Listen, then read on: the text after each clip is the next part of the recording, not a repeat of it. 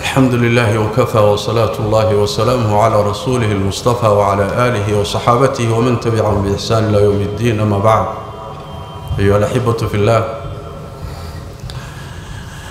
ruuxa muslimka ah waxa uu haysto ama waxyaalaha uu haysto waxaa ugu qaalisan diintiisa islaamnimada iyo iimaanka waa ra'samaalka nolosha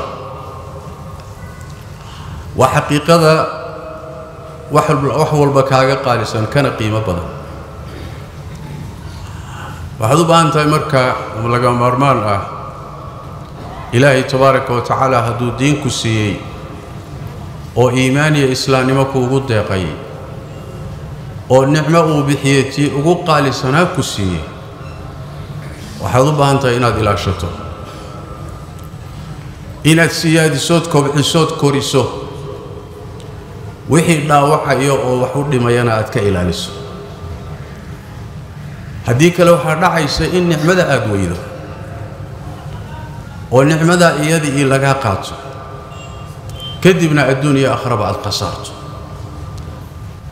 waxyaalaha diintaada halista ku ah iyo fitnooyinka dhaawacaya diintaada waxaa ka mid ah saddexda qodob ee uu sheegay alkhaliifatu araashid cumar bn khadaab radia allahu tacaala canhu wa ardaah waxuu leeyahay sayid cumar saddex arrimood diinta ayay dumiyaan ruuxa diintiisa waa duminaya ta koowaadii waxa weeye zallatu caalim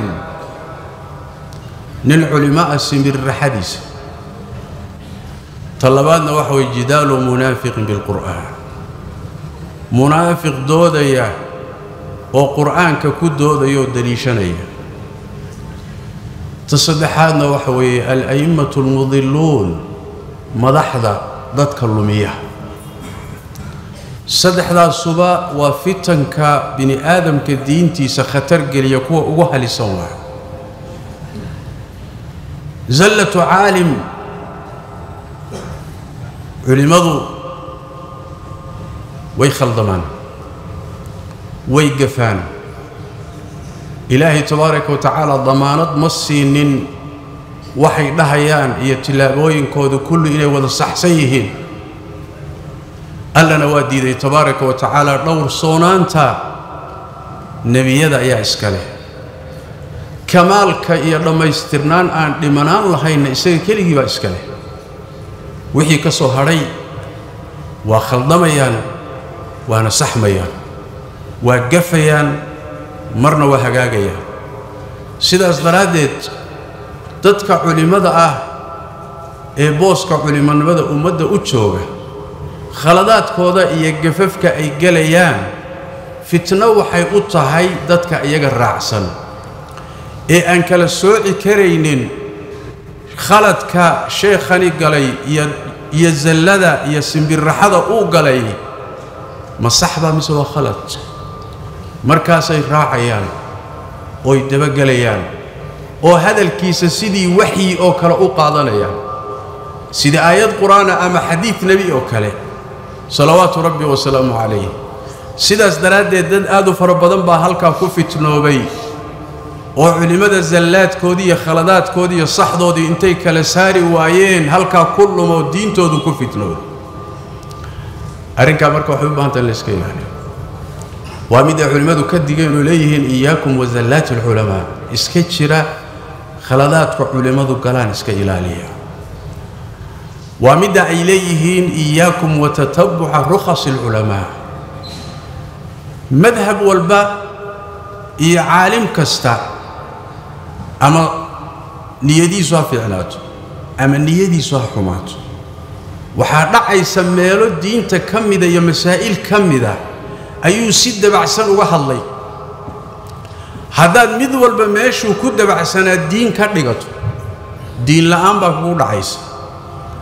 Sidaas daraaddeed ka fiirso gaar ahaan arrimaha waaweyn oo diintu ka digtay dadka dabaalanaya ee haddana culimmada ah inaad aad uga fiirsataad u baahan tahay waxyaalaha iyaga ah hebel baan ku raacay iyo hebel baan dabagalay berri meel ku geyn mayso.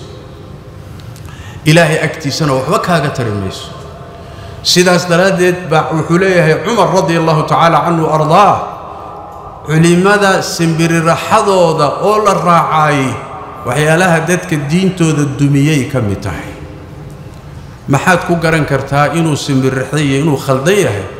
Dabcan waxay u baahan tahay inaadan asaga keliya ku kaaftoomin haddaadan wax kala sooci karine aad raadiso yaa kale yaa ka hadlay maxaa laga yidhi yaa khilaafsan ee isaga hadalkiisa aadan nas u qaadanin. Haddaad garanaysana inaad hadalkiisa miisaanka qur'aanka iyo sunnada saarto kadibna wuxuu ku khaldan yahay aad isaga leexato. Qodobka labaadii waxa weeye ee diintaada duminaya uu tilmaamay khaliifku waxa weeyaan jidaalu lmunaafiq bilqur'aan mid munaafiq ah oon diin lahayn oo doodaya oo haddana qur'aanka deliishanaya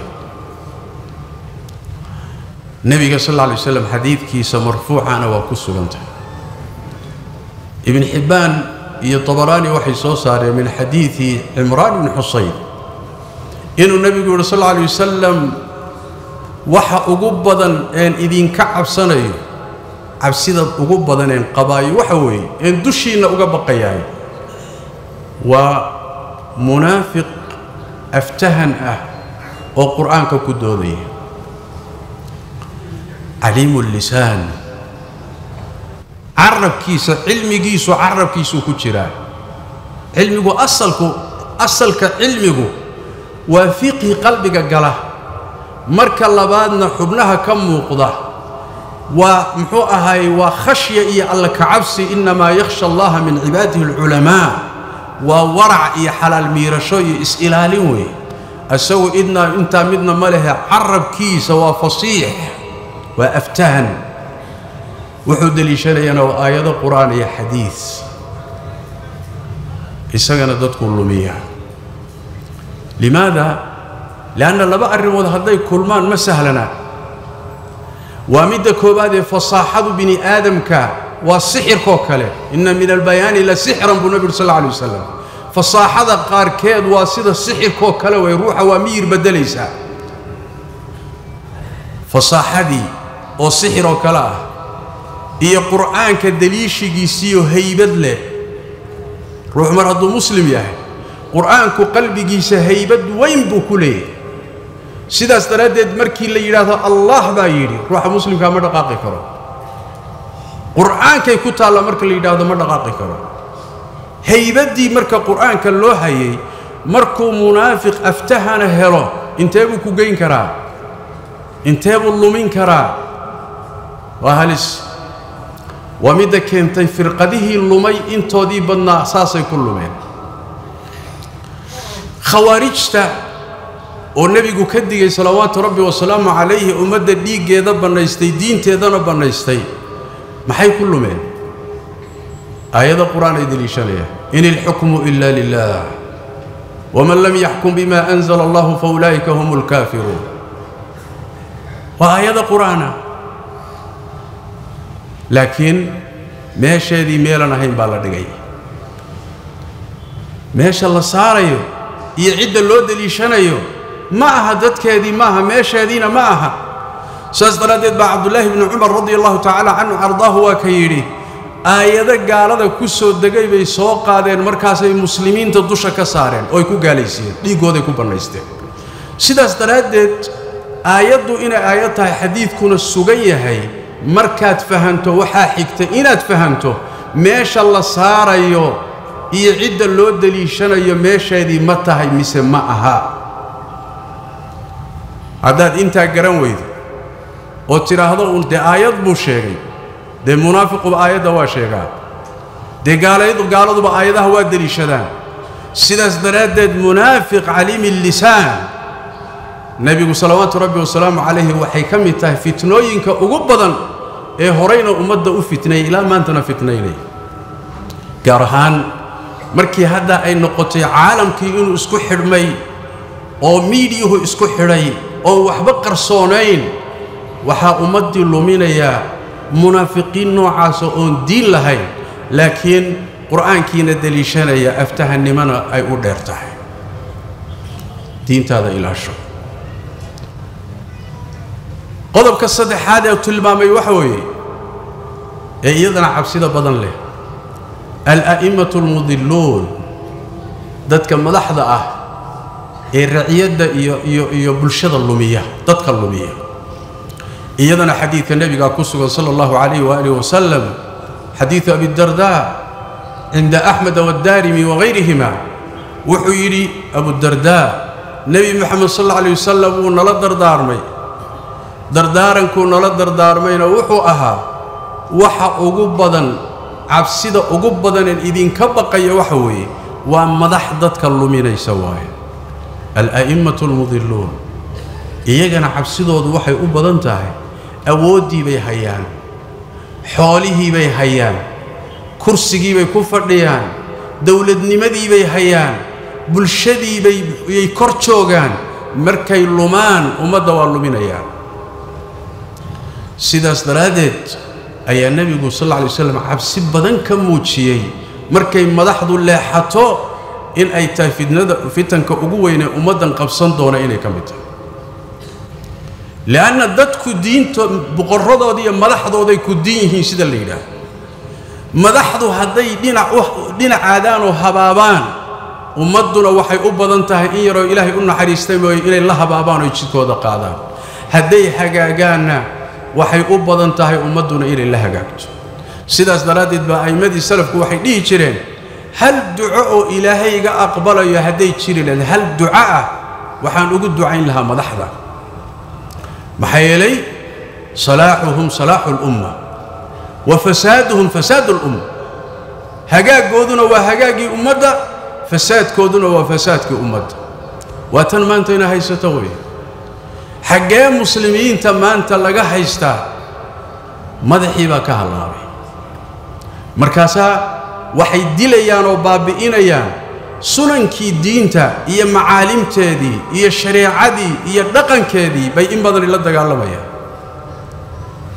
iyagoo in badani gaalada ka amar qaadanaya in badani shareecadii rabbi tabaaraka wa tacaala soo dejiyey meel iska dhigay inteedii badnayd madhabkooda iyo dariiqooda iyo gaalo raacnimada iyo shareecada meel la yska dhigayna ninkii yidhaahda war maya ee waa qaldan tahayna waa argagixiso waa asal raac waa in la dilo waa in la xidho waa in la dhaleeceeyo bulshadii aaway markay iimaanku ka tago oy qabdiyaalaystaan noqdaan oy iimaan iimaanku ka tago oy xoolo boob noqdaanna bulshaduna waa in iimaanku ka tago oy xoolo boob noqdaanoo ay muxuu ahay sidooda kale noqdaan sidaas daraaddeed madaxa bulshada xukumaay ee sultada iyo awoodda gacanta ku hayaay fasaadkiisu waa halis inxiraafkiisuna waa halis hagaaggiisa iyo toosnaantiisuna sidoo kale waa nicmo iyo barwaaqo ilaahay bixiyo tabaaraka wa tacaala. Taasaan marka ka garanaynaa nebigu sal alla alay wasalam markuu leeyahay wax walba cabsida iigu darani waxa weye madaxdu inay hallowdo. Hadday madaxdu hallowdo waa fitno inta lumi kartee ku lumi kartaay ayna xad lahayn. Saddexdaasiba waxay u baahay inaad diintaada ka ilaaliso. Saas daraaddeed a'immadii salafku ridwaanullaahi calayhim madax kuwan ka fiican oo boqolkiiba boqol ka qiimo badan oo jihaadka oogaya oo shareecadii ku dhaqmaya laakiin laf ahaantooda fasaad badani galay ayay ka carari jireen inay wax la wadaagaan. Ilaa wixii laga maarmaan noqda mooye.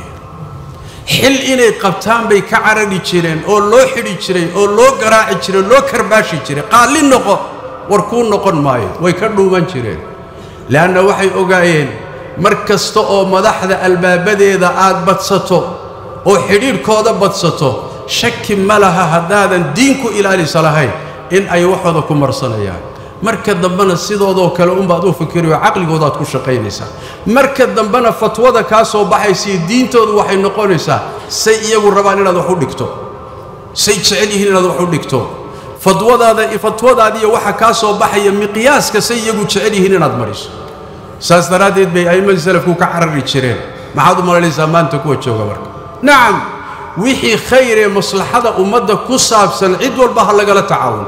Haddana maca daalika madaxdu hadday luntoy dariiqa ka habowda waxay u baahan tahay ayagana in loo naseexeeyo khaladkooda iyo saamayntoodana inaad diintaada ka ilaashato simbirraxada iyo khaladaadka culimmada iska ilaali munaafiqiinta qur-aanka deliishanayana iska ilaali madaxda fasaadaynayayna diintaada dhaawacine taxadarkaaga ka qaado صلوا وسلموا على خاتم الأنبياء والمرسلين. اللهم صل وسلم وبارك على عبدك ورسولك محمد وعلى آله وصحبه أجمعين وارض اللهم عن الصحابة والتابعين وتابعيهم ومن تبعهم بإحسان إلى يوم الدين.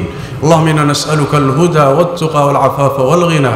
ربنا ظلمنا أنفسنا وإن لم تغفر لنا وترحمنا لنكونن من الخاسرين. اللهم يا حي يا قيوم برحمتك نستغيث ردنا إليك ردا جميلا. ووفقنا لما تحب وترضى. اللهم اغفر للمسلمين والمسلمات والمؤمنين والمؤمنات الأحياء منهم والأموات برحمتك يا أرحم الراحمين. اللهم أعز دينك وكتابك وسنة نبيك يا حي يا قيوم. اللهم أعز الإسلام والمسلمين. وذل الشرك والمشركين ودمر أعداء الدين يا رب العالمين. اللهم كن لعبادك المجاهدين في كل مكان. اللهم كن لهم عونا ونصيرا. اللهم أيدهم بتأييدك يا أرحم الراحمين. اللهم انصر عبادك المستضعفين في فلسطين وغزة يا أرحم الراحمين. اللهم انصرهم نصرا مؤزرا عزيزا عاجلا غير آجل يا حي يا قيوم. اللهم عليك باليهود الغاصبين. اللهم عليك بهم فإنهم لا يعجزونك. اللهم أرنا فيهم عجائب قدرتك يا أرحم الراحمين. اللهم مزق ملكهم وفرق كلمتهم. اللهم فرق كلمتهم يا حي يا قيوم. اللهم أهلكهم كما أهلكت عادا وثمود وسائر الأمم الطاغية يا أرحم الراحمين. اللهم انصر عبادك المجاهدين في كل مكان. اللهم انصر دينك وسنة نبيك يا حي يا قيوم. وسبحانك اللهم بحمدك نشهد أن لا إله إلا أنت نستغفرك ونتوب إليك. abka dahabalaas oo lagugu sameeyey habkii ugu casrisanaa waxaad hadda hal meel ka wada heli kartaa dhammaan adeegyada dahabshiil gruub adigoo isticmaalaya ablikhethonka dahabalaas oo adeegyo dheeraada lagugu soo kordhiyey ku bixi ku iibso ku kaydso. Dahabalaas habka ugu casrisan ee aad ku maamulan karto lacagtaada